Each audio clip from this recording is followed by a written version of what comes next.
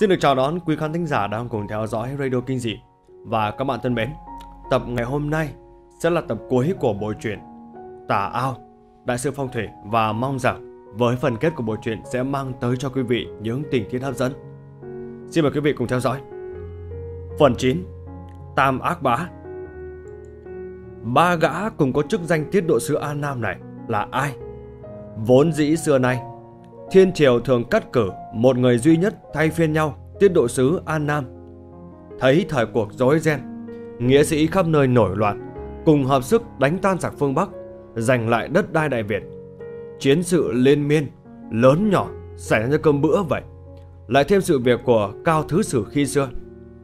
Nhân danh Thiên Triều định làm loạn, lập mưu đồ chiếm cứ đất An Nam, xây dựng giấc mộng bá vương cho riêng mình. Ba người Mộc Thạnh, Trương Phụ và Hòa Phú cùng một lúc làm tiết độ sứ theo ý chỉ của Thiên Triều là muốn phân chia quyền lực làm ba, không dồn vào một người tránh gây tạo phản. Người đời thường nói dò sông dò biển dễ dò, mấy ai lấy thước mà đo lòng người. Bọn chúng khi vào đến An Nam thì thấy trời Nam đã quả là đi mòn gót giày tìm chẳng thấy, đứng lại ngồi nhìn ở dưới chân. Vùng đất thiên địa nhân hòa có rất nhiều long mạch có thiên tử khí, mạch đế vương thịnh thảo. Bọn chúng lập tức tiến hành phá hoại, công phá long huyệt khắp nơi. Rút kinh nghiệm người thất bại trước, bọn chúng dùng binh lực cướp lấy bốn bảo vật pháp khí bằng đồng, đen, chấn điểm, phong thủy của đất Đại Việt, đem đi tiêu hủy. Lấy nguyên liệu mang về phương Bắc. Ba gã này thì vốn là ba sư huynh đệ đồng môn, cùng chung môn phái túc giao thổ, tiền thân trước đây là Bạch Cốt. Sau khi Hoàng chỉ tiêu diệt bạch cốt phu nhân, cây đổ, đàn chim bay, bọn chúng tan rã như ong vỡ tổ, chạy tứ tán khắp nơi. Nghe nói còn có một vị chức sắc cao trong bang phái, nội phái cao thâm, tên Cao Biển, cũng đã bị thất bại ê trẻ bên a Nam. Mạng nỗi oán hận thấu xương, lại tránh sự săn lùng của triều đình, còn có vài người thành lập môn phái tà đạo. Bình mới rượu cũ, lấy tên là Túc Giả Thổ dưới danh nghĩa sở trường huyền học phương thủy và tà pháp cao thâm. Chúng len lỏi vào trong chốn quan trường, tạo bè kết phái, thành danh thì chẳng mấy chốc đã trở thành thế lực lớn. Là một phần không thể thiếu trong ý đồ tranh giành lãnh địa, thôn tính các nước lân bang của thiên triều. Trong phái túc giả thổ, có một chiêu thức độc phái, nếu luyện được thì uy lực vô song, quỷ khốc thần sầu, hồ mưa gọi gió, phong kết ác linh, Chấn niệm long mạch được gọi là tam thi thần. Muốn luyện được chiêu này thì phải kiếm ra ba người cùng ngày giờ sinh, tương đồng nhau, thuộc tị, tức là mạng âm hỏa. Sau đó hợp lại tu luyện nhiều năm mà thành túc hồn pháp chấn điểm gồm có túc hồn trùng, chấn mộ huyệt, túc hồn động, chấn hang động, túc hồn đảng, chấn long mạch. Ngoài ra thì còn có một bí thuật cổ xưa gọi là tam trùng thi. Một khi độc ai vô phước chúng phải chiêu này thôi. Cái chết xem ra không so gì kinh hãi hơn. Bộ ba này gồm Mộc Thạnh, Trương Thụ và Hòa Phú. Đi đâu cũng có nhau. Khi qua đất An Nam thì bọn chúng ra sức bóc lột vơ vét tài sản, điền sản của người dân. Lại dùng thế lực quân đội hà hiếp dân lành bằng vũ lực, tạo ra chính sách đồng hóa người dân. Chúng bắt các phủ châu, huyện lệnh, thôn làng đập phá các miếu thờ thần linh phương Nam, bắt các nơi thờ thần Trung Hoa, bắt trai gái nước Việt mặc đồ giống phương Bắc, không được cắt tóc. Hàng năm thì phải cống nạp những nhân tài ưu tú đất Việt qua phương Bắc để thuần hóa, nhằm hủy diệt cơ đồ dân tộc Đại Việt. Nhân dân lầm than đói khổ khắp nơi. Cẩu nộ quan trì hành giám mục. Con chó ép vào đường cổng thì cũng cắn lại thôi. Khắp nơi chiếu loạn xảy ra. Bọn chúng dùng tà đạo lập trận pháp không biết đã giết hại bao nhiêu người vô tội. Việc đầu tiên là chảm long mạch. Theo cách ác độc nhất, đoạn nhất long. Tức là đào một cái giếng cách đầu rồng trên dưới đúng bảy trượng. Sau đó thì dùng đồng đen đúc thành một thanh côn thủ ô mà đóng xuống dưới đáy giếng kia. Một cách thức mà cả pháp sư phong thủy cao tay ít khi làm vì tổn hại phúc đức. Long mạch một khi bị phá hủy muốn khôi phục cũng mất thời gian. Nếu mà ra tay bằng cách này, long mạch thay vì chậm là 10 năm, lâu là nghìn năm mới hồi phục, thì mãi mãi long mạch sẽ bị triệt tiêu, không bao giờ trở lại. Chính vì muốn dân Nam không còn cơ hội là đây. Nhưng mà đất Việt là nơi ngọa hổ tàng long, nhân tài khắp nơi, lại có long khí thiên tử, có thể bất phát lúc nào. Rút kinh nghiệm từ trước là Cao Thứ Sử bị thất bại. Cần tắc vô áy náy, bọn chúng đã lập ra trận pháp ngự quỷ chi thuật, hóa giải ác linh Đại Việt, cho thêm phần thắng. Trước khi qua đất An Nam, bọn chúng đã dùng pháp ác quỷ thiên hồn, gọi là thần hộ pháp bạch phái cốt, là hộ cốt tinh, cùng giúp sức mình. Đầu tiên là tìm ra vực Tam Cốc, nơi trấn áp những ác linh này. Khi xưa, ác linh tung hoành bị các thần linh Đại Việt thu phục, giam vào một nơi dương khí thịnh phất. Bố cục phong thủy, nơi giam giữ này, được thiên địa hình thành hàng trăm triệu năm rồi. Có những nguyên tố quan trọng như sa long, huyệt dương, tạo thành một tiền cục long khiếu. Long khiếu không phải là một phúc khí, mà là một điểm cân bằng bố cục dương long, giống như một ổ khóa, phối hợp với cả ấn pháp bối và phúc hồn phù của huyễn thiên chân vũ. Yêu ma quỷ quái ác linh bị trói buộc ngàn năm, bọn chúng được sự giúp đỡ của hổ vương tinh, cùng thế trận tà đạo ngự quỷ chi thuật, dịch chuyển ấn phủ, khai phóng ra bốn ác linh truyền thuyết Đại Việt, xương cuồng, mộc tinh, thiên thừa sắc, chuột ngũ sắc, bạch kê, gà trắng và tỳ bà tinh, cây đàn tỳ bà. Tương truyền đất Phong Châu, từ thời thượng cổ có một cây lớn gọi là cây chiên đàn, cao hơn trăm trượng, cành lá xun xuê, che dập bóng mái tới ngàn trượng. Thường hay có chim hạc bay đến đậu lên đất, chỗ đó gọi là đất bạch hạc. Cây trải qua hàng ngàn năm khô héo, mục nát nên biến thành yêu tinh. Thường thay đổi hình dạng, rất dũng mãnh, pháp thuật cao siêu, giết người hại vô số vật. Yêu tinh này ngày đây mai đó biến hóa khôn lường. Thường xuyên bắt bớ người ăn thịt, dân chúng phải lập đền thờ. Hàng tháng thì theo lệ phải mang người sống tới nộp cho yêu tinh. Dân tình mới được yên ổn. Người dân chỉ thấy qua hình hài là một bộ xương trắng, lại rất hung bạo điên cuồng nên gọi là xương Cuộc.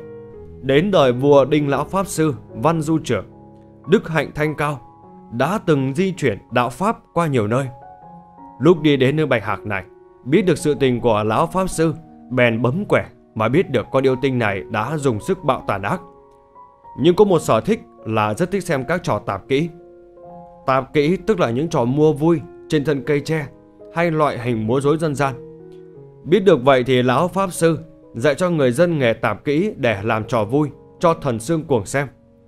Rồi trong lúc hắn mê đắm trong các trò tiêu khuyển, tìm cách mà thu phục nó. Người dân Bạch Hạc ca hát, gõ trống khua chiêng, ca múa ẩm ý, lại giết súc vật mà tế. Mùi máu tanh thì bay xa đến trước mũi thính của xương cuồng. Yêu tinh thấy thế bèn đem đến xem.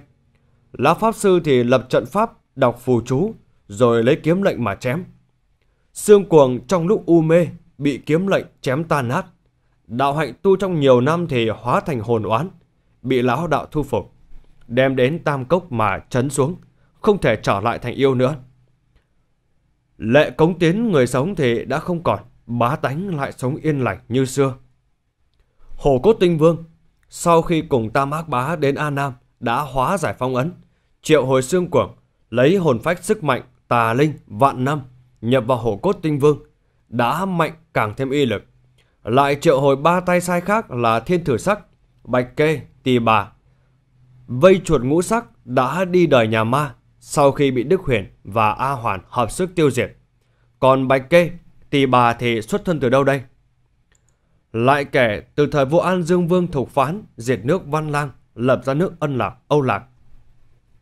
Ông quyết định xây thành cổ loa để trợ giúp cho nhà vua Hàng đêm thì các tiên nữ trên trời đều hạ phàm, gánh đất đắp thành. Tuy nhiên, thành xây lên bị yêu ma liên tục quấy nhiễu. Chúng thường giả tiếng gà gáy để lừa các tiên nữ về trời. Thành quách đắp đến đâu chưa xong, cùng đều sụp đến đó. An Dương Vương thì lấy làm lo lắng, mãi không thể xây xong thành. Ông bèn lập đàn cầu khấn, bách thần, xin cho việc xây thành được suôn sẻ. An Dương Vương lấy làm lo lắng khi mãi không thể xây xong thành. Ông bèn lập đàn cầu khấn bách thần, xin cho việc xây thành được suôn sẻ. Ít lâu sau, có một lão đạo không biết từ nơi nào đến trước cửa thành, vuốt dâu trắng mà nói rằng Xây thành thế này thì không bao giờ mà xong được. Nhà vua biết lão đạo chắc là nhất đẳng cao nhân, bèn cho gọi vào trong điện, cung cung kính kính. Lão đạo nói, Ngài yên tâm, sẽ có sứ tên là Thanh Giang tới phò trò, thì việc xây xong thành mới thành công được. Nói xong lão từ biệt ra về. Đúng như lời của lão đạo, hôm sau, từ cửa thành phía đông xuất hiện một con kim quy rùa vàng, tự xưng là sứ Thanh Giang. Nhà vua mừng rỡ bèn cho rước sứ vào để tìm hiểu xem, vì đâu mà thành xây mãi không xong. Sứ Thanh Giang bèn đáp, ở chân núi Thất Diệu có một mộ huyệt chôn các vua thời trước. Vì khi còn sống các nhà vua rất thích nghe nhạc tấu, nên sau khi chết đã mang các nhà công chôn sống theo bên mình. Không dưng đang sống yên bình, lại bị bắt mang chôn xuống. Trong lòng thì phát sinh oán hận với các vị vua. Lâu dần, những oan hồn nhà công kia thành oán hồn không siêu thoát. Vùng đó cũng lại có một con gà trống trắng, sống lâu năm thành tinh rồi. Đêm đến, nó hay dẫn các oan hồn đến dùng phép phá đổ tường thành. Chỉ có trừ được con kê tinh này, giải thoát các vong hồn thì mới được xây thông thành thôi. Lúc bấy giờ thì trong vùng có một quán trọ. Người chủ quán có một cô con gái và một người con rể. Quán trọ kỳ lạ này ở dưới chân núi. Nhưng mà chẳng rõ vì đâu mà khách vãng lai đi qua đó nhiều người đã có đi mà chẳng có về. Mất tích không rõ nguyên nhân. Một ngày nọ, nhà vua theo lời của sứ Thanh Giang cùng với cả vài lính tinh nhuệ của mình giả thành khách đi đường, tìm đến quán trọ xin nghỉ chân. Đêm đến, nhân lúc trăng lưu gió mở, một trận âm phong kéo qua. Một âm thanh như tiếng đàn tỳ bà reo rắc, âm thanh nhỏ nhẹ rót vào tai, làm cho mọi người như chìm vào giấc mộng vậy. Tay chân buồn rủi, muốn ngồi dậy cũng không nổi, như cá nằm trên thớt. Yêu quái vốn trú ngụ trong lốt người con rể thay hình đổi dạng hóa ra con bạch kê. Khi nhà vua trọ tại quán, ông đã theo lời của sứ Thanh Giang lập ra trận pháp kim quy chu hồn trận lên xung quanh quán trọ. Bạch kê tinh thì nhờ tiếng đàn tỳ bà du hồn người, xem như nắm chắc phần thắng, toàn xông vào phòng giết hại khách nghĩ trọ. Lập tức bị thế trận chu tả kim quy chiếu vào thân thể. Thân của bạch kê thì bị cháy hết một mảng bốc khói đen, đau đớn rên rỉ. Bạch kê tức giận, biến hóa thành trăm hình vạn trạng, cùng tỳ bà tinh dùng đủ các tà phép nhưng vẫn không thể phá giải được thế trận kim quy chu hồn trận. Càng cố hóa giải thì cũng giống như kiến càng rung cây, châu chấu đá xe, biết gặp phải thánh nhân. Trời vừa tảng sáng thì bạch kê hóa thành con cú sáu chân, tỳ bà hóa thành con u xả, con rắn màu đen cao chạy xa bay theo hướng núi mà trốn. Sứ thành giang hóa ra, dây ngũ sắc phóng theo thu phục cả hai phu thê yêu nghiệt này. Hôm sau thì ngay quán trọ Bạch Kê, người ta đào được rất nhiều hài cốt và nhạc khí cổ bị chôn dưới đất. Phía sau quán trọ, đem đi đốt ra cho rồi giải xuống sông Mã thì âm khí mới tan. Tương truyền, Bạch Kết Tinh trước đó đã tu luyện tà đạo trong hang sâu tăm tối nhiều năm, cùng với cả một phiến đá ở núi Thất Diệu màu xanh ngọc sau này thì có người tiều phu lên rừng đốn củi vào hang sâu, tưởng nhầm đá quý nên mang về nhà. Hồn phách tu luyện đá thành tinh của Thạch Ngọc nhập vào đứa con gái mới sinh của tiểu phu. Đứa bé gái lớn lên rất xinh đẹp, tài trí hơn người. Có tài đàn ca hát sướng. Người dân quanh vùng thì thường gọi là tỳ bà nương nương. Đó là vì chuyên dùng một chiếc đàn tỳ bà làm mê hoặc lòng người. Ai mà đã nghe tiếng đàn rồi thì hồn siêu phách tán, u mê điên đảo, đi theo cô à. Chẳng bao lâu sau thì mất tích. Ai ngờ là sau khi tu luyện thành người, nhớ đến ân tình của người xưa, liền đi kiếm bạch kê, mà kết hợp thành phu thê, đồng lòng nhất trí, hại người giết vật, luyện ma tu đạo. Vận xui là một loại vận không bao giờ tránh được. Thế mới nói, mệnh lý hữu thời trung tư hữu, mệnh lý vô thời mà cưỡng cầu. Số phận không cho mình được như ý, có cố chấp thì cũng bằng không. Truyền thuyết dân gian tụng trải qua hàng ngàn năm, thêm mắm dặm muối, không biết sao mà lần được. Đồng cỏ nhân gian, theo hoa dệt gấm từ những người dân nghèo, trong tay không có sức mạnh, ăn hôm nay thì không biết ngày mai, lại bị cương thường bại hoại. Nên các truyền thuyết cũng có một cách đại biểu cho tiếng nói nhân gian, nhân quả ngàn đời. Các bạn nghĩ xem có đau thương cho người Việt chúng ta không? Lại nói về nhóm Đức Huyền với tiểu cô nương xa lạ, chưa một lần gặp mặt A Hoàn kia. Đã vì truy bắt thiên tử sắc, đã vào trốn hang động đầm lầy đất hoang. Trước, không có nhà sau không có phủ, nơi miếu hoang mộ phận, gặp ngay trận pháp tà ác ngự quỷ chi thuật, hóa giải phong ấn ác linh Đại Việt. Gặp ba ác linh trong truyền thuyết chưa kịp hoàn hồn thì đã xuất hiện ba gã quái nhân. Theo lời của lão quan già trọng kiên, gọi bọn quái nhân bụng to đầu nhỏ. Thân thể thì giống như chân chưa tới cửa, bụng đã vào tới nơi. Là tam tiết đội sứ An Nam. Cả bọn ba người, cùng với cả con chó hạo khuyển xuyến kia. Giờ tựa dưng, trên trời rớt xuống thêm một lão già trột mắt. Tuy già nua, như thân thể thì bất phàm, đạo pháp cao vời Trên tay thì cầm kiếm long quyết, ngùn ngụt khí thế.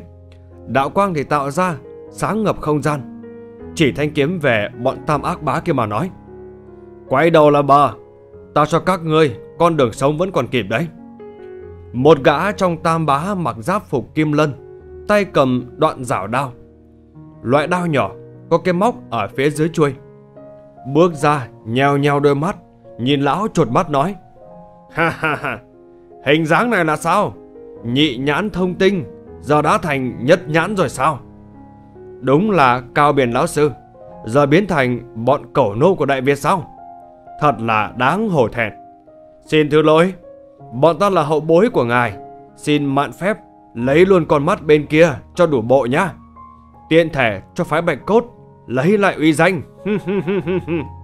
Cao biển thì chân đứng như bàn thạch, Cất tiếng nói, Im lời, bọn ác độc. Như bọn ngươi sớm muộn gì cũng chịu quả báo như ta thôi.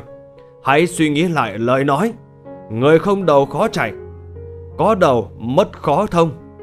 Cẩn thận đấy nói. Đất phương Nam này không dành cho bọn ngươi cuồng ngôn loạn ngữ đâu. Nói chưa dứt lời thì đả phi thẳng lên trên cao, Dùng kinh lực lấy máu đầu lưỡi mình, Tạo thành đạo quang, Chém xuống ba người kia, Xích huyết tàn cốt kiếm. Phần 10 Tam trùng thi. Chỉ thấy một ánh huyết đạo trên tay chém xuống, Lão quái tên Mộc Thạnh kia thì nhảy tránh sang một bên, Nhưng mà chợt cánh tay đau buốt tê dại Cánh tay gã rơi xuống bên cạnh. Thì ra đó chỉ là ám chiêu, dương thiên, kích điện. Sự thật thì sát chiêu là nằm từ phía dưới đất lên không. Nói thì lâu chứ thực tế rất nhanh. Lão quái kia, Ánh mắt thất thần, Không tin vào mắt mình. Một lão già ốm yếu, Lại chỉ còn một tay, Lại có thủ pháp nhanh như vậy sao? Nhát chém Sắc như dao cạo vậy. Gã lảo đảo, ôm cánh tay, Chỉ còn dính lại phần trên. Lùi ra phía sau Máu chảy lênh loáng. Một lão phía sau thì xem ra nhanh tay Lấy từ trong túi ra Một chất bột màu trắng Phủ lên vết thương. Khói trắng bốc cháy Tạo thành một vết thương nhỏ khô Máu đã đông lại rồi. Trước mắt lại thấy A Hoàn Cùng với cả lão trọng kiên Cũng không chịu ngồi yên Sĩ khí dâng trào lao đầu đến đối ứng. Giờ thì trong hang sâu chỉ nghe thấy tiếng âm binh, binh khí khua vào nhau, nghe đinh tai nhức óc. Mọi người gặp nguy nan mà bản thân chỉ biết đứng nhìn, lòng cảm thấy như bị tàn phế vậy. Bất giác, dòng hỏa hầu giao long trong người chợt như muốn nhảy khỏi cánh tay vậy. Đầu thì đau như búa bổ, phút chốc ngã phịch xuống đất. Con huyền đề thấy chủ nhân của mình như vậy, tự dưng như có sức mạnh, lấy mõm gặm lấy chân mà kéo ra ngoài cửa hang. Hai bên giao chiến nhau nửa ngày, không phân thắng bại. Một gã đã bị phế mất cánh tay. Nhất thời chỉ còn có Trương Phụ và Hòa Phú. Lại thấy Cao Biển có kiếm long quyết trong tay, uy lực dũng mãnh. Xem ra nếu không sử dụng tà thuật e rằng khó lòng thắng nổi. Gã Hòa Phú lấy chiếc hồ lô được đúc bằng đồng đen, ô trùng, đeo bên hông người. Lấy trong tay áo một đạo phù màu xanh tím Cả ba tên thì lùi lại giữ khoảng cách. Cánh tay lấy máu cùng nhau vẽ lên đạo phù thổ linh. Bắt ấn, đọc câu chú hét lớn. Là bọn Mỹ ép bọn ta, giờ thì không kết khí nha. Tam trùng thi, tam trùng thi, bạo cốt vương, cấp cấp hiện mình. Chỉ thấy một làn khói đen bay ra, tạo thành một con độc trùng dài hình khói to lớn bay uốn lượn trên không trung. Rồi biến thành những mũi tên đen như mưa bay xuống đầu của A Hoạt và Cao Biệt. Lão Trọng Kiên thì sửng sốt, chớp ánh mắt tối đen. Ông rú lên thảm thiết, học máu tươi tung tóe. Chỉ thấy một làn khói đen bay ra, tạo thành một con độc trùng dài hình khói to lớn, uốn lượn trên không, rồi biến thành những mũi tên đen như mưa bay xuống đầu của A hoàn và Cao biển Lão Trọng Kiên sửng sốt. Chớp mắt tối đen, ông rú lên thảm thiết, học máu tươi tung tóe. Cao Biển thì quăng vội kiếm long quyết xuống đất, đưa cánh tay lên, dùng hết sức còn lại để đẩy A Hoàn ra cửa động hô lớn. Chạy đi con, để đây cho ta. Chỉ thấy thân thể như trăm ngàn mũi tên cắm vào da thịt, cuồng loạn cơ thể. Dù có nội lực cao thâm thì cũng khó mà kiềm chế nổi đau đớn xé nát nội tạng này. Tay chân tê dại, khóe miệng tuôn ra từng dòng máu đen. Lão quan già trọng kiên thì giờ như đèn sắp cạn dầu, vẫn thì thào, miệng đầy máu tươi, nói với Cao Biển. Ông cũng chạy đi, ta đây cản đường cho. Mỗ đây cũng không còn sức nữa rồi. Ta chuẩn bị về với nương tử của ta rồi. Nói xong rồi lôi trong người ra hai cây hỏa dược, thuốc nổ được nhồi trong thân cây tre, chuẩn bị từ trước vào hang. Lão đã âm thầm mang theo để quyết ăn thua với cả thiên thừa sắc. Giờ thì chuột tinh đã chết, tâm nguyện đã thành rồi, chẳng muốn lưu luyến chi phạm trần đau thương, cô độc. Lão cười hì hì, tay rút ra hỏa dược, ném về phía tam ác bá. Bọn chúng biết là hỏa lực cực mạnh, nên nhanh chân phóng đi vào bên trong. Ánh chớp chói lóa, tiếng nổ đinh tai một góc trời. Đất trời như rung chuyển vậy. A Hoàn chạy đến thấy cao biển còn sinh lực kéo ra ngoài. Lão Trọng Kiên thì cười to. Ba thằng ác bá tu luyện cho cố sức bao năm qua. Không bằng ông đây, chỉ một cây hỏa lang là bọn mày xanh cả mặt rồi. Ra đây, ta tặng cho món quà nhỏ nữa này. Rồi quay ra miệng hang, nói trong tiếng khóc. Tiểu tử Đức Huyền, ta cảm ơn đã mang một bằng hữu như ngươi. Chúng ta hết nợ nhau nhé. Kiếp sau gặp lại. Một tiếng nổ thứ hai vang lên, chúng ngay cây thạch trụ chấn giữa hang động, làm nó gãy đôi. Chiếc hang giờ thì giống như mất cây chống đỡ vậy, trở nên rung chuyển, đất bay đá chảy, âm thanh rung động kinh hoàng. A Di Đà Phật, A Hoàn, con nhìn xem, tam trùng thi này quả thật rất ác hiểm. Độc trùng theo 36 huyệt vị yếu điểm trên cơ thể mà chui vào, sau đó hút dần hết sinh lực của thân chủ. Chỉ một thời gian ngắn thôi thì e rằng sẽ mất hết sức sống mà biến thành âm thi. Âm thi thì sẽ lây lan trong gia tộc người đó. Chẳng bao lâu, tất cả sẽ thành bộ xương trắng. Chiêu này là chiêu ác thất truyền. Khi xưa, các cao thủ phong thủy cao tay triệt hạ lẫn nhau. Tranh giành long mạch, sau thấy quá ác độc nên đã dần dà bị các cao nhân trừ đi, không còn thấy xuất hiện. Giờ ta sẽ tìm cách trục nó ra. Cao Biển khẽ mở mắt, toàn thân đau nhức không kể xiết. Thấy thân mình đang ngâm trong một chiếc vải bằng đất nung cực lớn. Nước trong vải đang ấm nóng dần bởi vô số thảo dược có tính hỏa. Trước mặt là một lão thiền sư trông khá quen. Bên cạnh là tiểu cô nương A Hoạt. Lão cao biển cố sức còn lại, nói với cả hai người kia. Ta chưa chết sao? Nơi này là âm tào địa phủ rồi chăng? Hay là ở đâu đây? Nhà sư kia thì hình tướng đạo mạo, phi phàm bước đến bên nói. Hãy yên tâm mà tịnh dưỡng. Chúng ta có nhiều chuyện phải nói ra tại đây.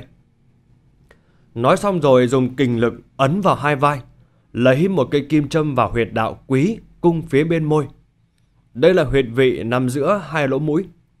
Trên huyệt nhân trung. Cách này thì hay dùng để cứu người bị hôn mê. Huyệt đạo này rất đau đớn, đau nhất trong 360 huyệt vị trên cơ thể con người. Nếu châm vào lúc người ta tỉnh táo, đau thấu tận tâm can, giống như một cực hình vậy. Chỉ thấy nước xung quanh dần sôi sục lên, chuyển từ màu trắng trong thơm mùi thảo mộc sang một màu đen tuyệt, mùi hôi thối bốc lên nồng nặc, hôi tanh tẩm lợm, làm cho nhà sư liên tục vận khí nín thở. A Hoàn thì nôn thốc nôn tháo mấy lần. Bỗng từ trong vại nước bò ra vô số trùng thi màu vàng nghệ, như con đỉa to như ngón chân cái vậy. Thân mình thì toàn là gai, chúng bò lúc nhúc trên vại đất, trên đầu cổ của Cao Biển, chui tọt vào hốc mắt bị hư của hắn. Tiếng là thất thanh đau đớn. Nhà sư lấy trong tay ra một chiếc bình sứ lớn có chứa nước màu đỏ, để xuống bên cạnh chiếc vải đất. Lập tức nghe như mùi máu tanh. Tất cả trùng thi thì lao ra khỏi vại đất, chui vào bên trong chiếc bình sứ. Lão sư lấy nắp đậy lại, dán lên đó hai đạo bùa vàng. Sau đó kêu A Hoàn mang đi bỏ vào lò hỏa thiêu. Vài ngày sau thì Cao Biển giờ sức khỏe cũng đã khôi phục dần một chút rồi. Nằm trên giường cố gắng ngồi dậy khi thấy bóng nhà sư bước vào. Nhưng mà lão thiền sư lại gần, ngồi xuống kề bên nói. Ta tên là La Quý, đây là chùa cổ lớn. Ông không cần phải ngồi dậy đâu, Cao Thứ Sự. Ông chưa khỏe, và lại trùng độc tuy đã lấy ra hết khỏi cơ thể rồi. Nhưng người của ông thì di chứng để lại khá nặng. Không biết vài ngày tới thì sẽ ra sao. Hy vọng ông sẽ tai qua nạn khỏi. A-di-đà Phật. Lão Cao Biển ho lên mấy tiếng rồi nói. Ta biết chiêu thức này năm xưa đã từng sử dụng trong trận pháp bát quái đổ tinh long. Nhưng một lần này là được tu luyện cao hơn mấy bậc, đã xuất chiêu là lấy mạng. Ta tự biết mình khó qua khỏi, chỉ mong con gái ta tha thứ cho sai lầm trước đây của ta thôi. Là đã yên lòng, nhắm mắt ra đi rồi. Từ lâu thì ta đã tha thứ cho ông, khi biết rằng ông đã vì lòng ích kỷ của bản thân mình mà gây ra tai họa cho dân An Nam. Nhưng mà sau này đã dò la mà biết được, ông đã cải tà quy chính, lấy công chuộc tội, tạo dựng phúc đức cho dân làng. Tiếng nói từ phía ngoài cửa bước vào, đó chính là A Hoàn, tên Húy là Cao Hồng Lên. Cao Biển thì dưng dứt nước mắt, cánh tay run lên, chỉ về phía của A Hoàn. Con gái của ta. Khi vào hang Tam Cốc, ta đã thấy được miếng ngọc bội Phượng Hoàng trên cổ là ta đã biết chính con là con của mình rồi. Cảm ơn trời cao đã có đức hiếu sinh mà cho ta gặp lại con. Ta đã rất vui rồi. Không ngờ rằng Cao Biển khi về lúc cuối đời, tâm nguyện duy nhất là gặp lại đứa con gái bị thất lạc. Dù hai người thì cũng là một mái ấm gia đình. Cao Biển trải qua phong ba báo táp, tội ác thì cũng không ít. Phóng hạ đồ đao, lập địa thành Phật là vậy. Nhớ dạo đó từ sau trận Đại La, Thiền sư La Quý biết được Cao Biển còn có một người con gái nhỏ.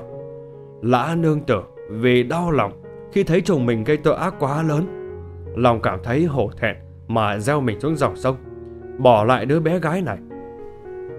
Thiền sư La Quý thì đã bị lòng nhân tử mang về chùa cổ lữ mà dạy bảo, truyền thừa tâm pháp đạo môn. Do đó căn cơ đạo cốt chẳng bao lâu sau thì trở thành truyền thừa đời thứ năm của phái Tỷ Ni Đa Lưu Chi. Nằm bên nhánh pháp đạo trời tà, sở trường là y bác, tinh tướng, binh pháp địa lý, rất giỏi bùa chú. Sư tổ khai sáng là Minh Không Đại Sư. Đức Huyền, sau trận chiến, thừa sống thiếu chết quay về nhà. Đau buồn vì lão trọng kiên, chết không có chỗ chôn tử tế. Chỉ trách lão phúc hèn phận mỏng, hang núi sập xuống chôn vùi thân xác. Âu cũng xem như là người sinh ra rồi chết đi thì cũng về với cả cát bụi trần gian. Ở nhà ngàn ngày sướng, ra đời nhất thời khổ. Đức Huyền thoát nạn, lại mất đi người bạn già trọng kiên, quyết tâm trả thù. Chính hôm ấy, gặp được vị ân nhân cứu mình lúc trước. Hàng ngày thì cũng lên chùa cổ lữ, xem lão nhân kỳ quái kia sức khỏe ra sao.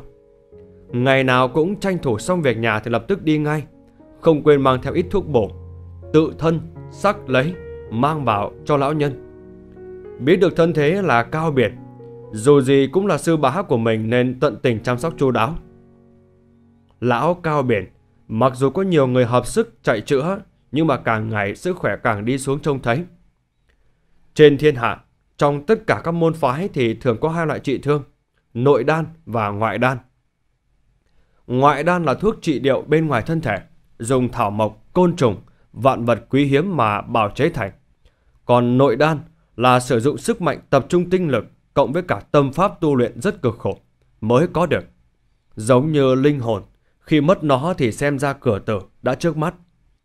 Nội đan được luyện thành từ bên trong cơ thể của chủ nhân, giúp trị liệu nội thương. Đạo giáo thường gọi là thai túc. Biết mình chẳng còn sống được bao lâu, nên Cao Biển đã nằm suy nghĩ nhiều đêm liền. Đã có một quyết định táo bạo. A Hoàn thì cơm nước hàng ngày cho ta. Hắn như sống lại trong sự yên bình đến lạ. Hàng ngày thì nghe tiếng kinh kể, lòng cũng vơi nỗi lầm ngày xưa. Hy vọng trước khi chết, làm gì đó cho bách tính của An Nam. Này, tiểu tử, biết tại sao Giao Long trong người nhà ngươi không phát huy tác dụng không? Đó là vì ngươi không đủ tinh lực để khống chế nó. Giao Long, hung cát, họa phúc đối với ai không hiểu. Nếu một thời gian sau nhà ngươi không biết khống chế nó, nó sẽ hút hết tinh lực còn lại của nhà ngươi rồi bay mất. Nhà ngươi dù có tu học phong thủy, đạo sư cao đến đâu, nếu không có thêm nội lực thì xem ra như cây kiếm cùn. Lại gần đây, lại gần đây, ngồi tọa thiền đi, nhắm mắt lại, ta sẽ khai sáng cho. Đức Huyền nghe lão bá cao biển nói vậy thì như bắt trước, bắt được vàng vậy. Bấy lâu nay, trong lòng suy nghĩ nhiều cách mà không sao điều khiển được giao long trên người. Lòng cảm thấy những gánh nặng. Nay được lão sư bá nói vậy thì vui lắm. Bất chi bất giác, làm theo lời của sư bá. Nhắm mắt lại, tự dưng một kình lực chạm khẽ vào trước ngực. Miệng há hốc, chưa kịp định hồn, thì cổ họng như có luồng âm khí lạnh toát chạy xuống đan điền ngưng tụ, lạnh giá, phun ra lên cầm cập. Cơ thể như đóng băng vậy, bay bổng lên không trung. Âm hồn thì tách bạch ra khỏi thân thể, chưa kịp la lên một tiếng rồi bất tỉnh nhân sự. Trong u mê, vẫn nghe thấy tiếng nói của sư bá. Huyền Nhi, từ nay tiểu tử ngươi thay ta cùng A Hoàn tỷ tỷ, giờ đã có giao long, Phụng Hoàng hy vọng thần linh Đại Việt hợp thêm Kỳ Lân và Kim Quy, hợp sức lại mà đồng lòng cứu bách tính An Nam.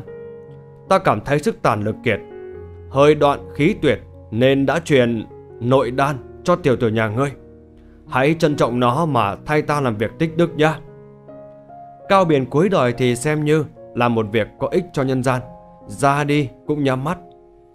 Trước đây chỉ vì mỡ béo che tim, danh vọng che mắt, làm chuyện táng tận lương tâm. Giờ chỉ mong muốn một gia đình yên bình, cũng không có trọn vẹn. Thế mới nói cao biển danh chấn thiên hạ, xem ra thì cũng đáng thương, chẳng đáng như bách tính đâu. Lúc nhỏ thì cha không yêu, mẹ không chiều.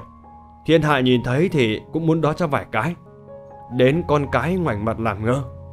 Đúng với câu không có kẻ xấu, chỉ do cuộc sống buộc con người ta không có quyền lựa chọn. Giữa mê cung cuộc sống thiện ác khó phân minh này. Phần 11 Quỳ tứ nhãn Thiền sư đạo giáo là một đạo xem trọng y thuật, bào chế ngoại đan. Thân cao hơn là tu luyện nội đan và sử dụng phù chú. Mỗi một loại phù chú chứa ý nghĩa thiên đạo, có thể điều khiển, dẫn dắt người và vật sống, còn có thể dẫn động long khí, long mạch nằm sâu dưới mặt đất. Tất cả đều gọi là thiên nhân hợp nhất. Cầu dẫn truyền vô lượng thiên tôn cũng tương tự như A Di Đà Phật bên Phật giáo. Để trở thành một nhà huyền học danh chấn thiên hạ, ngoại trừ tư chất thông minh hơn người, còn phải hội tụ thêm duyên phận và thiên phận. Khổ luyện hơn người mà thành chính đạo. Khi xưa Hoàng chỉ hội tụ đủ các yếu tố trên mà đắc đạo thành bậc nhất đẳng chân nhân. Chỉ học được có 5 trong 7 cuốn thư tịch của đạo giáo. Hôm nay Đức Huyền duyên số đến lúc đã thuộc về thất tàn thư kỷ môn như lòng bàn tay rồi. Chỉ là không đủ nội lực mà khai mở giao long trên người. Thay được cao sư bá chuyển cho nội đan trong phút chốc như cẩm tú tiền đồ, thay đổi hình sắc. Còn dao long trên người giờ cũng chuyển thành màu vàng, khí lực ngút màu, đó chính là pháp khí cao nhất trong thiên đạo giáo. Sau khi chôn cất cao sư bá xong, dù sao thì cũng là ân nhân của mình. Cứu giúp hai lần mà chưa được trả ơn từ mình. Trong lòng của Đức Huyền thì cũng xót xa, đứng bên ngôi mộ mà rơi vài giọt nước mắt. Xin hãy yên lòng nhắm mắt, con nhất quyết sẽ cùng hoàn tỷ thực hiện được di mệnh của sư bá. Sẽ cho bọn ác bá kia một cái chết không toàn thây, dẹp sạch ác linh cho đất An Nam này, cho bách tính sống an bình muôn đời. A Hoàn đứng lên, cười khinh. Đúng là thiên hoa loạn trụy, nổ banh xác. Bản thân thì không tự biết lượng sức của mình. Ngươi có biết ba ác linh kia không? Sức mạnh kinh khủng thế nào? Con rồng non của ngươi thì chỉ như con run dế trong tay bọn họ mà thôi. Đức Huyền nhìn A Hoàn tỏ vẻ không hài lòng, gương mặt biến sắc, biểu cảm không vui. Tỷ nói sao chứ? phong thủy của đệ không đến nỗi nào đâu nha. Giao Long đã có thể biểu dương rồi, cộng với cả sức mạnh của Phụng Hoàng của tỷ, tại sao lại không đấu lại một ác má kia chứ? Lúc này thì lão thiền sư La Quý đứng gần, ánh mắt nhìn về phía Trấn Châu Khả, núi Phan Mau, cao hơn vạn trượng nói. Đúng vậy, giờ hai con có pháp lực còn rất non tay. Tuy có pháp khí linh lực thần thú, nhưng mà xem ra thì cần phải tu luyện thêm. Với lại chúng ta chưa có hội tụ đủ tứ thần thú đâu. Xem ra lần này thì hung ác khó tránh. Trước giờ bọn giặc phương Bắc chưa bao giờ ngưng công phá Long Mạch, muốn chiếm lấy giao chỉ. Ta cùng các anh hào khác ngày đêm chân giữ, nhờ có tứ pháp khí hỗ trợ. Này cũng đã bị chúng dùng binh lực mà cướp mất rồi. Phá vỡ nấu chảy, đem nguyên liệu về thiên triều rồi. Còn một số huyện thành, một trụ cột to lớn bằng đồng đen, gọi là lưỡng nghi trụ chấn mạch trảm long. Hai người A Hoàn và Đức Huyền nghe nói đến lưỡng nghi trụ thì rất tò mò. Trước giờ chưa từng nghe đến, nên hối thúc thiền sư kể lại sự tình. Thiền sư La Quý thì mới từ tốn giải thích.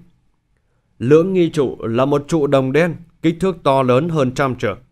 Trên thân cột được khắc các phù chú từ thời thượng cổ, do một pháp sư tà đạo tên là Mã Viện bên phương Bắc nghĩ ra, để chấn áp các quốc gia chống đối lại thiên triều. Nếu lưỡng nghi trụ phối hợp với cả trận đồ quỷ môn trận pháp thì cấp độ tàn sát hơn hai cấp bậc so với cả trận đồ bát quái tinh đồ long cao thứ sử bày ra khi xưa. Nếu thành công thì sẽ chấn mạch trảm long, hủy diệt thiên tử khí. Mãi mãi nước Đại Việt ta nhân tài cạn kiệt, không đất dung thân. Trận đồ này lập ra là muốn chấn áp, diệt tận mọi mầm mống phản kháng ở giao chỉ ta. Nên trên thân của lưỡng nghi trụ có khắc chữ Đồng trụ chiết, giao chỉ diệt Tức là cột đồng chấn, giao chỉ sẽ không còn. Vốn dĩ bọn ác bá triệu hồi ác linh Là muốn bảo vệ bọn chúng trong lúc thi pháp chấn niệm. Không cho ai tới quấy phá là như vậy. Nghe xong thì Đức Huyền ngùn ngụt khí thế Ánh mắt cam hờn nói Vậy thì mong lão sư chỉ giáo thêm bọn con Phải làm sao để hóa giải thế trận này đi Giờ phải bắt đầu từ đâu ạ à? Lão sư La Quý thì lấy tay, bấm đột, nhìn về phương Bắc rồi nói. Việc đầu tiên là các con phải tu luyện thêm cách thức sử dụng thuần thục pháp khí, linh thần trên người. Đức Huyền, con theo A Hoàn, cùng nhau mà luyện tập, cùng với cả sự chiến của ta. Hy vọng anh linh trên cao của tà ao thiên sinh, dẻo thoi bá tánh mà ra tay phù hộ. Kim Quy chuẩn bị về trời Nam rồi, A-di-đà Phật. Bọn ba lão ác bá kia sau một trận đụng độ tại Tam Cốc đã thu xếp nhanh gọn, kéo nhau về núi Phan Mau. Nơi này có một hang động gọi là Cổ Sâm, nguyên khí trời Nam, tất cả chỉ còn nơi này gọi là Ít Huyệt Chân. Bọn chúng sau khi xem xét cẩn thận đã quyết định lập ra trận pháp quỷ môn trận pháp. Vậy quỷ môn trận pháp là cái gì? Thế trận này ban đầu được hai phái Mao Sơn và Hắc Các Giao khai sáng ra Mới thoạt đầu thì các lăng mộ của vua chúa phương Bắc hay bố trí, các cơ quan dùng ám khí và khí độc để tiêu diệt kẻ gian tặc trộm mộ. Sau này thì được các pháp sư tà ác thiết lập thêm phần chấn niệm tà môn. Họ thay vì dùng cơ quan lại chuyển sang dùng cách ít tốn kém tiền của nhất và thời gian hơn, là sử dụng tà pháp oán hồn chấn. Đó là dùng những trai gái còn trinh trắng, khỏe mạnh cho bọn họ ăn thật no. Trong thức ăn thì có bỏ chất gây mê. Sau đó chôn xuống nửa thân người xung quanh Hình thành bát quái lớn. Theo hình âm dương ngũ hành Trai một bên Gái một bên chôn nửa thân người ngửa cổ lên trời Dùng vật để cậy miệng Đổ thủy ngân vào trong cơ thể. Sau khi chết bất đắc kỳ tử Họ trở thành những oan hồn vô cùng trung thành. Hóa thành lá chắn bảo vệ nơi thi pháp Quỷ môn trận pháp lúc này được các pháp sư như Tam Ác Bá phối hợp với cả Lưỡng Nghi Trụ chấn xuống huyệt đạo Long để chạm Long Đại Việt. Thế trận này phải hội tụ đủ 9 điểm tà chấn nhỏ khác. Nên bọn chúng muốn gấp rút xây 9 ngôi đền nhỏ xung quanh được gọi là cửu điện gồm có giác, định, tinh, không, chân, hưng, tượng, cự, môn. Chính kiểu điện này được chấn xung quanh. Nếu mà tự ý xông vào, không đúng điểm chính yếu còn gọi là mắt trận, thì thân xác tiêu tan, hồn phi, phách tán. Rồng vốn dĩ là trí tôn của vạn vật trên dương gian. Trong thiên hạ, long mạch cũng giống như hơi thở của rồng thiêng vậy. Để hội đủ yếu tố được xem là long mạch thì âm dương phải hòa hợp. Hình thể của hai bên thì phải có hữu thanh long, tả bạch hổ. Sau đó có... Sau thì có thiếu sơn, trước thì có chủ sơn. Không phải cứ thấy hình núi lên mạch uốn lượn thì tùy tiện gọi là long mạch cho được đâu. Bắt buộc mạch chân long phải có dòng nước chảy. Nước là huyết dòng. Vì thế không có nước thì long chết. Nước cũng có âm và dương. Nước chảy động cuồn cuộn gọi là dương. Nước ngưng tụ tĩnh lặng gọi là âm. Đứng trên đỉnh núi Phan Mau có thể trông thấy đất phương Nam bao la hùng vĩ, trải dài vô tận. Một bóng người mặc đồ tu hành màu xám cho, cổ đeo vòng chuỗi to lớn bằng gỗ quỷ kiếm sầu. Đội chiếc mũ nón đã lành, lưng thì đeo một cái túi màu vàng, gương mặt thanh tú, diện mạo bất phạc. Nhìn xuống khe núi bên dưới, nét mặt thề toát lên sự giận dữ oán hận, nghiến răng mà nói.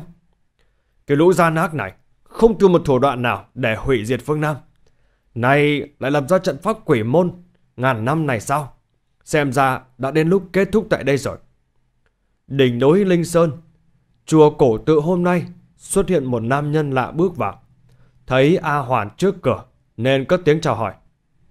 Xin thứ lỗi cho tại hạ hỏi thăm, có phải là nơi tu hành của thiền sư La Quý không? Vừa nói vừa lấy chiếc nón trên đầu xuống, tóc búi cao, trên có xuyên một cây châm, hình lôi phong màu bạc.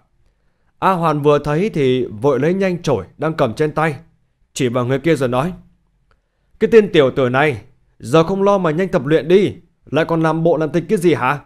Con bà nó. Hoàn tỷ ngày nào thì cũng cho ăn đòn mới chịu sao hả? Nói xong rồi chưa dứt lời đá phi cây chổi, kèm theo một lực lượng lớn, như muốn xuyên thủng cơ thể của các nam nhân kia. Chỉ thấy hắn đưa nhẹ một ngón tay trỏ ra.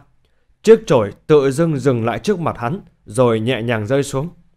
Tựa như lông ngỗng vậy, rồi điềm tĩnh nói với cả A Hoàn. Ta đây không thủ không oán với cả cô nương.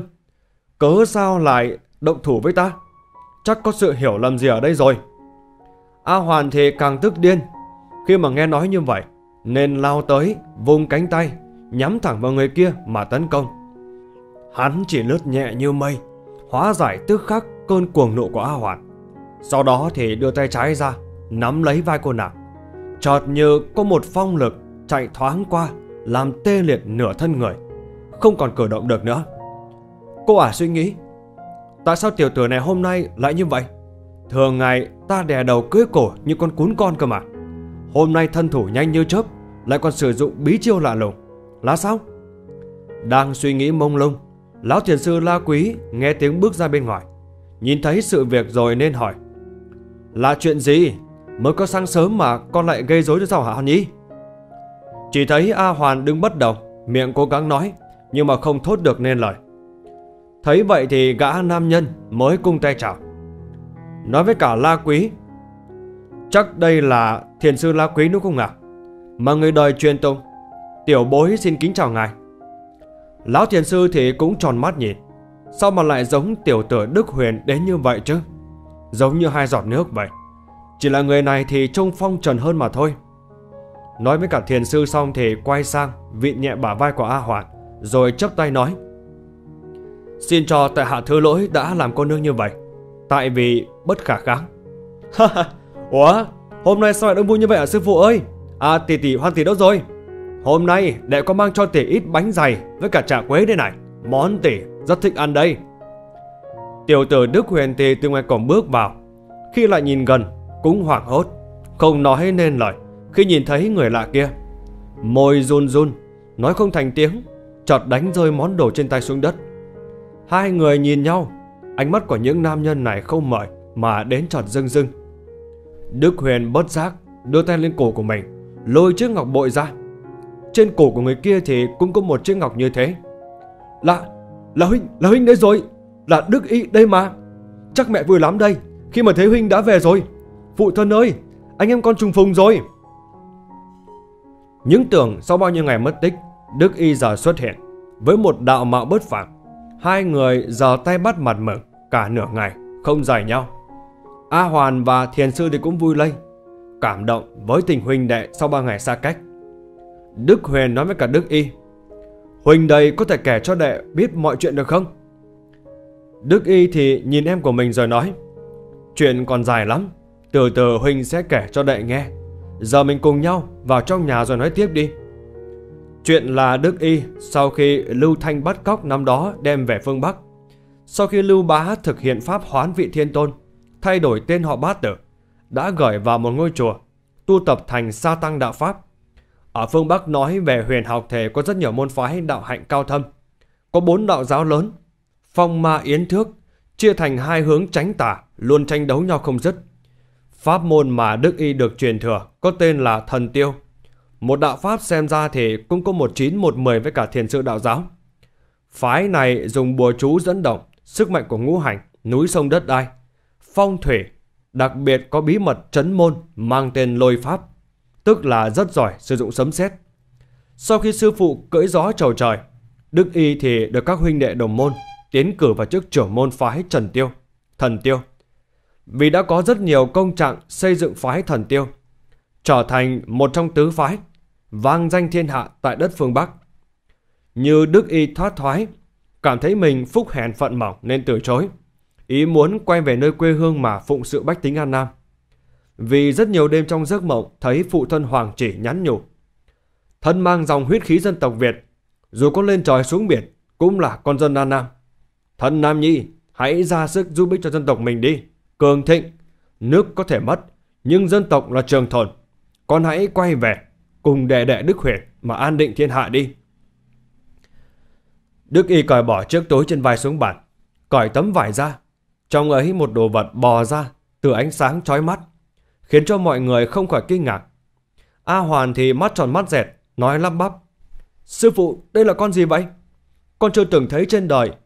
Dưới bụng có bốn con mắt, còn trên lưng thì có bốn chữ vàng kim. Là sao người có biết chăng?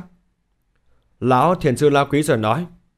A-di-đà Phật, đây chính là quý tứ nhãn trong truyền thuyết. Quy tứ nhãn trong truyền thuyết. Cả đời này ta cũng chưa từng được thấy qua. Chỉ nghe qua các tổ sư đã nói rằng năm đinh dậu xuất hiện một con quy thiên hạ thường nói là quy tứ nhãn xuất hiện ở nước Nam là ý chỉ của thần linh giáo ngôn cho bá tánh phương Nam. quỳ tứ nhãn vào năm đinh dậu thì xuất hiện mai rùa, có hai chữ thiên đế.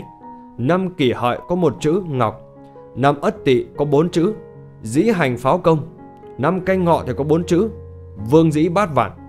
Còn lần này là quốc thổ an vinh. Đoạn la quý quay sang hỏi đức y. Ta cũng nghe truyền lại, phải là người mang mệnh trời đất, một là quân vương, hai là người có duyên đạo với nó mới tìm được nay sao con ấy có thể tìm thấy? Đức y bấy giờ thì mới vạch một bên đạo áo ra. Trên người lộ ra một hình con rùa màu vàng, Kim quy, khắc sâu bên ngực trái, Rồi nói với cả đạo sư. Trước khi trở về đây, Con đã được phụ thân báo mộng. Một sáng tinh mơ thức dậy đã thấy quy tứ nhãn Đã nằm ở trong phòng từ khi nào rồi? Trên người thì lại có hình thù kim quy khắc sâu. Biết đây là mệnh trời đã định, Con lập tức quay về phương Nam. Dò la tin tức tìm người Mà phụ thân Di Huấn muốn tìm kiếm Này đã gặp được cao nhân rồi Xin người chỉ giáo La Quý cảm động khi nghe nhất đến Hoàng Chỉ. Ánh mắt toát lên niềm tự hào, nói với cả ba người. Cuộc đời ta bôn ba khắp nơi, trải qua không ít trận. Nhưng mà người ta nể phục kính trọng nhất là tà ao tiên sinh. Ta thật may mắn được sánh vai cùng ngài trong trận chiến thành Đại La. Năm đó không có sự hy sinh thân mình vì xã tắc thì chúng ta không ngày hôm nay. Chính vì dùng hết nguyên khí, đạo hạnh của mình mà không mang sự mà không màng sự sống chết quyết hóa giải phong ấn bát quái tinh đổ long kia. Nên ngài đã hao tổn tuổi thọ rất nhiều. Nay ta cũng chính vì biết được rằng nước Nam ta cũng sẽ có ngày hôm nay. Cây muốn lặng mà gió chẳng ngừng. Ta nhiều năm ẩn cư cũng chính là vì suy nghĩ tìm ra phương pháp ứng phó với cả tà pháp giặc ngoại xâm phương Bắc. Nay ta sẽ truyền lại cho các con nắm giữ mà giúp ích việc này để phá trận quỷ môn kia. Nó được tên là Xá Lợi Tử Phong Ấn. Tập cuối, Quỷ Môn Quan Tương truyền quỷ Tứ Nhãn hay còn gọi là rùa bốn mắt xuất hiện lần đầu tiên tại Trung Du miền Bắc Đại Việt. Không phải là thực sự rùa có bốn mắt, Mà là phía yểm dưới bụng của nó Chia thành bốn vòng nhỏ Tựa như những con mắt. Nhìn từ xa thì trông giống như những con mắt vậy. Trên mai rùa đôi khi có những ký tự triền văn cổ Giống như có những loài cá sống lâu. Trên vảy hay xuất hiện những dòng chữ Hán. Nên người dân gọi là rùa bốn mắt Quý hiếm hơn có loại đến sáu mắt. Hai huynh đệ Đức Y, Đức Huyền Về lại nhà thăm mẹ Khỏi phải nói cả một gia môn vui mừng đến nhường nào. Sau bao nhiêu năm biệt vô âm tín, Giờ trùng phùng tương ngộ, Chỉ vài ngày sau thì hai anh em xin phép khả phu nhân Nói dối là cùng nhau đi ngao du sơn thủy, Rồi cùng lên đường đến núi Linh Sơn Để gặp thiền sư La Quý Mấy hôm nay, Con huyền đề thì không biết sao cứ léo đéo đi sau sưng của lưng Đức Y Đức Huyền thì cảm thấy nó lạ hơn mọi ngày. Ngay cả dáng đi thì cũng khác. Lông chuyển từ màu đen sang đỏ. Nếu như người ngoài thì khó để ý thấy. Nhưng mà chuyện lạ này đem ra hỏi Đức Y. Chỉ thấy huynh của mình lắc đầu cười cười rồi không nói. Hôm nay là ngày 15 tháng 7 âm lịch. Trăng thượng tuần soi sáng đỉnh núi Phan Mao. Bốn người một chó từ đỉnh nhìn xuống động cổ sâm kia. Ánh sáng sáng tím cùng những cơn gió thổi quét ngang sườn núi heo hút kia, tạo những âm thanh kéo dài, nhưng tiếng ai oán gọi hồn vậy. Phía dưới kia là ba gã ác bá đang đứng thành hàng ngang. Trước mặt là một bãi tế lễ. Chính giữa là lưỡng nghi trụ cột bằng đồng đen to lớn, dài hơn 10 trượng. Trên đó thì khắc những dòng kinh dẫn hồn. Kinh dẫn hồn là một loại kinh chiêu hồn âm hồn, không siêu thoát tụ tập về nơi thi pháp. Xung quanh cột trụ là những thanh cây tre vót nhọn. Trên đó cắm những cái thủ cấp của lục xúc. Trên đỉnh của lưỡng nghi thì có treo 9 dãy dây bằng chỉ đỏ. Có dán những đạo phù xanh đen kéo dài nối đến chính cửu điện, chia thành vòng tròn phía dưới. Đức Huyền thì cho mày nói Tại sao chúng ta không hành động vào lúc buổi sáng Lại canh vào lúc trăng cao gió mờ thế này để hành, để hành động Thiền sư La Quý giải thích đó là vì ban đêm chính là lúc âm khí nhiều. Với lại bọn chúng đã chọn đúng giờ tí mà hành động. Giờ tí là khung giờ cao nhất trong ngày, tụ hợp âm khí nhiều nhất. Các con nhìn xem, không những bày thế trận quỷ môn, bọn chúng chuẩn bị chiêu hồn ác linh, sau đó dùng thêm chấn pháp bát sát cục. Đây là thế trận dùng 8 miếng da người, trên đó khắc càn, khảm, cấn, chấn, tốn, ly, khôn, đoài, đem dán ở 8 hướng, tạo ra sát cục cực lớn nên gọi là bát sát cục. Đức Y, ánh mắt của hắn hằn lên những tia máu. Thật muốn gài bẫy người khác đây mà. Theo con biết, thế trận bát sát cục này ai mà không biết tâm điểm của tà pháp mà tự tiện đi vào, e có đi vào mà không có đường ra. Bát sát cục này sẽ tạo ra hư chiêu ma dẫn được, che mắt dẫn linh hồn đi lạc lối mà mãi mãi đi vào cõi hư vô. Thiền sư La Quý thì vuốt tròm sâu, nhìn sang Đức Y rồi nói, Đúng vậy, không những tử nạn mà còn tan xương nát thịt không thể siêu thoát, đến địa ngục còn không thể xuống, mà vào cõi luân hồi tái sinh cũng không xong. Linh hồn bất tán trong nhân gian muôn kiếp, rồi quay sang nói với cả A Hoàn. Tiểu nha đầu, đã đến lúc rồi, chúng ta chuẩn bị thôi, cứ theo kế hoạch mà làm đi. A Hoàn lập tức ngồi xuống, bày ra trận pháp. Lấy trong túi ra số cọc nhỏ như thanh tre vuốt nhọn, cỡ hai găng tay, cắm xuống đất, tạo thành một vòng tròn nhỏ. Tức thải thì 12 cây, tương ứng kim, mộc, thủy, hỏa, thổ. Là vòng trong càn, khảm, cấn, chấn, tốn, ly, khôn. Đến bên vòng ngoài thì quẻ này, trong hoa mai dịch lý, lấy chỉ đỏ, buộc vào các đầu cọc, thành hình vòng tròn trên thì có gắn một chiếc chuông nhỏ, thắp lên bốn cây dẫn hồn, đại diện cho bốn người. Pháp này cộng với cả chiêu phù hồn kia sẽ bảo vệ cho linh hồn của mọi người. Nếu chẳng may dính hư chiêu của bát sát cục, sẽ không bị ma dẫn đường mà biết lối quay về. Lúc này Đức Huyền mới ngây ngô, à, ái ngại hỏi thiền sư. Vậy khi khi thi pháp thì có cần bốn thần thú? Ở đây chỉ có Giao Long, Kim Quy với cả Phụng Hoàng. Vậy thì thiếu mất kỳ lân rồi Làm sao chúng ta có thể thi pháp triệu hồi được uh, lão sư Đức Y thì vỗ vai của Đức Huyền Lấy tay, chỉ con Huyền đệ Sư đệ, Ở bên Kỳ Lân mấy năm qua mà không biết sao, Thật là. Đức Huyền thì quay sang, Nhìn con Huyền đệ ánh mắt mà đăm chiêu nghi ngờ nói. Sao Kỳ Lân lại là một con chó được? Con bà nó, Đệ cứ tưởng truyền thuyết Kỳ Lân là một con loài uy dũng to lớn như hổ báo chứ. Hóa ra truyền thuyết nhân gian đều nói sai. Vậy bấy lâu nay, Người ta ăn thịt Kỳ Lân sao? Đức Y vừa cười vừa nói. Đệ không biết đó thôi. Chó cũng có nhiều loại. Khi xưa Hạo Thiên Khuyển có mặt trên thiên giới. Tu đạo thành đạt cảnh giới tiên đạo Nên hay xuất hiện xuống nhân gian giúp người. Rồi người đời theo hoa diệt cấm Thêm thắt hình hài Ra sai lệch đôi chút. Kỳ lân Chính là tên gọi chung cho những loài vật bốn chân Như sư tử, ngựa, chó, tu tiên Mà thay hình đổi dạng khác đi. Đó là khi ta biết dùng pháp lộ bì tướng Khai tướng cho nó Mấy hôm nay thì ta đã giúp nó Nên giờ thì đại nhìn xem đi Đức Huyền giờ mới nhìn thấy trên lưng nó đang đeo một tấm phù kim cang phục ma bằng da trâu.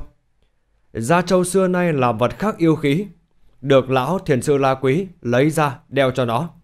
Trên tấm phù da trâu đó, đặt con quy tứ nhãn bám lên trên. Một vòng lục xoáy đỏ như lửa bỗng dưng được tạo ra xung quanh bốn chân con huyền đệ.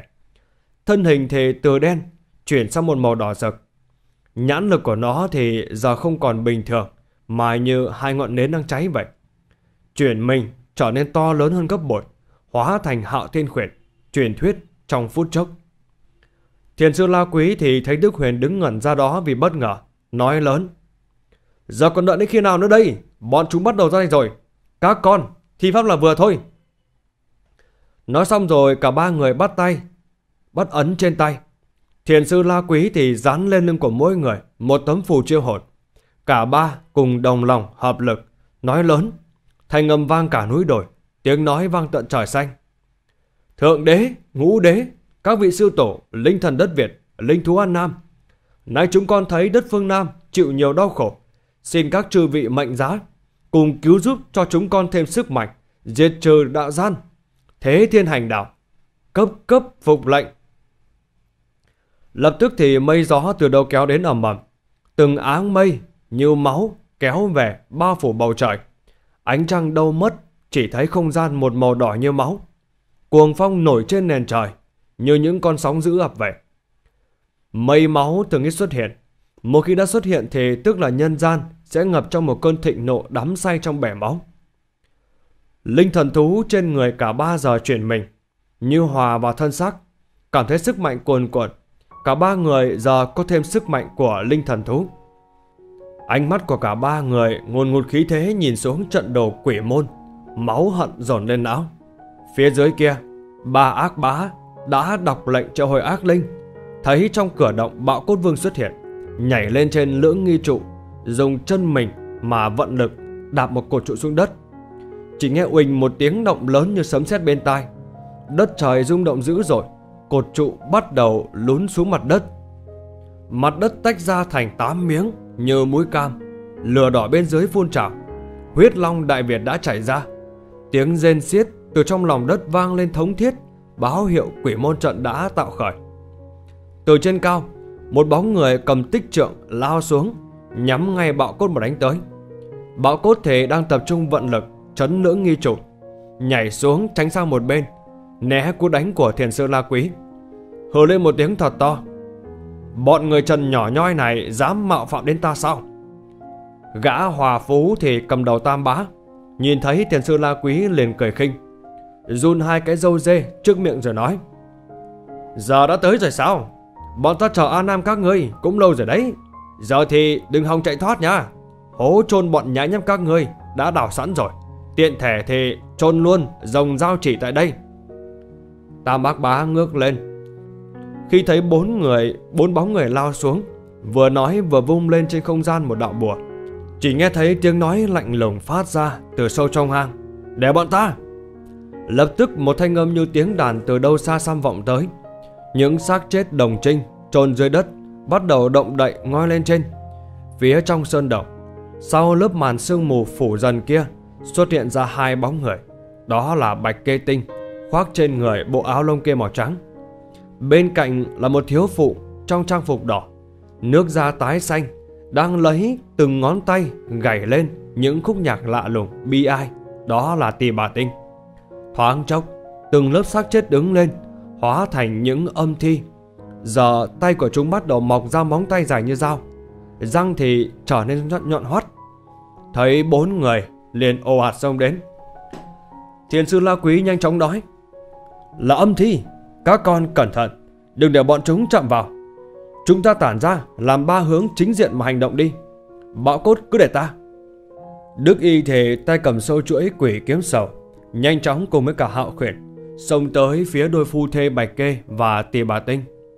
Những âm thi này Tuy rằng chỉ còn da bọc xương, Nhưng mà giống như con thiêu thân Lao đến tạo thành vòng vây, Lấy cả hai vào giữa.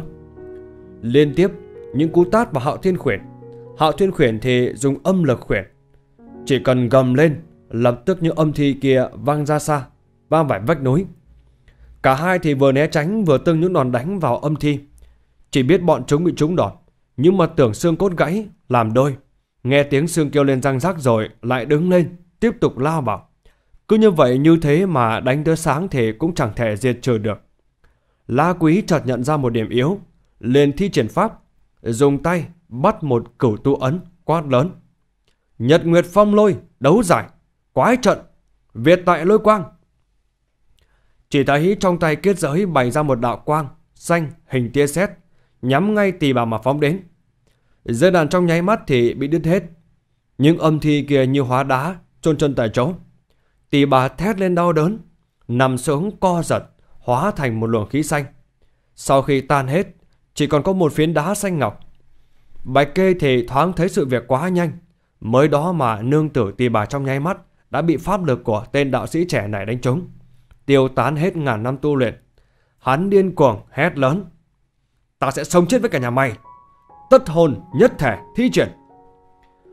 Một chiếc lông vũ màu trắng trong tay của Bạch Kê bay thật nhanh, cắm vào vai. Hự! Đức y lảo đảo, chân phải khuỵu xuống, tay phải thì chống đất, cơ thể thì run lên bần bật. Tất hồn nhất thể là một chiêu thức kêu gọi tất cả oán hồn không siêu thoát nhập vào hắn, tạo nên sức mạnh nâng lên vạn lần. Chủ ý là sử dụng ám tà, vũ kê tiêu hồn. Nếu chúng phải, xem ra linh hồn và sinh lực của người dính chiêu sẽ vĩnh viễn thuộc về hắn. Đức y thì nhất thời khinh suất, không kịp trả tay, dính hư chiêu. Chỉ thấy một luồng hắc ám vây lấy thân thể, ánh mắt thì chuyển thành một màu đen sâu thẳm. Đức Huyền phóng đến lập tức lấy trong tay ra một ít gạo nếp ngâm trong nước ấm, bỏ ngay vào miệng của Đức Y. Sau đó thì lại lấy từ trong tay ra sáu cây xương gà trống cắm xuống xung quanh, hai nhánh xương cá nhỏ cắm vào tấm phù chiêu hồn sau lưng của Đức Y. Lập tức một dòng máu đen quánh tuôn ra hai bên thất khiếu. Gạo nếp ngâm nước ấm là một cách đơn giản để hóa giải tà thuật. Tại sao lại dùng thêm xương gà và xương cá? Vốn dĩ gạo nếp tính trừ tà rất cao, nhưng có một cách hóa giải tốt hơn và dễ sử dụng trong mọi trường hợp là dùng xương cá và xương gà trống. Vì hai thứ này thì thuộc tính dương nên mang hiệu quả tức thì. Đức Huyền quay ra nói với cả A Hoàn Con bà nó Dám dùng hư chiêu sao Tỷ lo cho huynh ấy đi Để con gà này cho đệ vật lông Nói xong rồi đứng lên Nhìn về phía của Bạch Kê Cánh tay phải đưa lên trước ngực Tay trái thì đỡ phía dưới tạo thành thế vuông góc Bắt ấn dao long quá hải con dao long cuồn cuộn lấy cánh tay phải sáng rực. Đức Huyền thì phóng tới trước mặt của Bạch kê quan lớn. Thái Sơn lệnh cản, Dương tại thế, Tử ác thần, Vô lượng thiên tôn, cấp cấp tuân lệnh lệnh. Một đạo quang màu vàng thì hình bán nguyệt bay đến Bạch cây tinh. Cho dù có chuẩn bị thủ thế trước và nhanh đến đâu thì sát chiêu nhanh hơn hẳn. Bạch kê toàn thân lạnh toát, mắt trợn mồm há hốc khi thấy dưới thân của mình xuyên qua một lỗ hổng lớn. Âm khí từ đó tuôn ra, không cản lại được. Hắn gục xuống như cây khô gốc vậy, phút chốc thì hóa thành một xác kê màu trắng. Phía bên kia, thiền sư La Quý giao chiến với cả bạo cốt. Xem ra thì không phải đối thủ của ác linh, liên tục bị những chiêu thức đánh trúng. Khóe miệng máu chảy thành dòng. Đức Y sau khi nghỉ ngơi một chốc cũng đứng dậy. Tất cả giờ tụ lại đến bên cạnh. Tam ác bá giờ đứng ba góc trên cao nhìn xuống, đắc ý nói. Giờ các ngươi như cá bơi lọt lưới rồi Giờ còn trốn cũng hết đường rồi Tam trùng thi Tam trùng thi Bạo cốt vương Cấp cấp Tuân lệnh một đám khói đen từ chiếc hồ lô ô trùng bay ra thành vòng đen quánh phía trên đỉnh núi. Thiêu thân vào lửa, thôi khốn cứu, cá lọt đáy nồi, cứu được chăng? Nghe đến tam thùng thi thì tất cả bất giác sống lưng lạnh toát. Nhưng mà đã chuẩn bị trước. Vạn lý bất ly kỳ tông. Lão thiền sư La Quý cười to. Ai lọt lưới thì giờ biết ngay. Có cầu dĩ độc trị độc tức là đây. Những trùng thi bắt đầu lao xuống như cơn hắc mưa. Tức thì hạo khuyến xuyển, ngước nhìn lên. Nhãn lực đỏ rực, lửa thiên thượng phóng hỏa ra. Tiếng gầm vang động không gian. Tam ác bá thì ù hết cả tai. Tay đang bắt ấn, buông rơi bùa thổ linh. Bỗng nhiên tất cả trùng thi còn sót lại mất phương hướng. Phần bị lửa cháy, bay lại cắm vào người sai khiến của nó. Chỉ nghe tiếng thét thất thanh vang lên. Tam bà bá dãy ruộng trong vô dụng. Từ trong cơ thể thì những trùng thi khoét thành những lỗ chi chít. Máu tuôn thành dọc, miệng há ra, chết không nhắm mắt. Bạo cốt vương thì giờ gầm lên, vươn vai tạo thành khổng lồ, nhắm vào lưỡng nghi trụ mà bước tới. Giờ trụ kia như chiếc gậy nhỏ, bạo cốt lấy tay ấn xuống. Tiếng rồng thiêng đất Việt giống lên, đất trời nam như nghiêng ngả. Mặt xung quanh thì nứt thành từng đường lớn. Tất cả mọi người giờ lông tóc dựng ngược ra đầu tê dại, máu từ trong miệng hồng hộc phun ra, lồng ngực như sắp nổ tung vậy.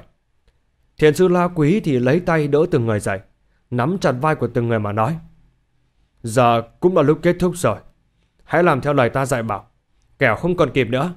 Ta thật sự rất vui khi được là người cùng vai sát cánh với cả tạ ao tiên sinh. Giờ đây là với những anh tài tương lai Đại Việt. Ta hôm nay có chết cũng mãn nguyện. Tất cả nghe xong thấy rất lạ.